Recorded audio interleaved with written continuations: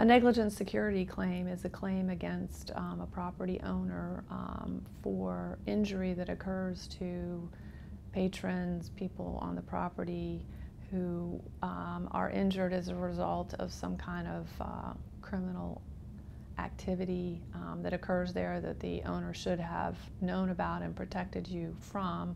Um, and so you can pursue a claim because they were not fulfilling their duties to their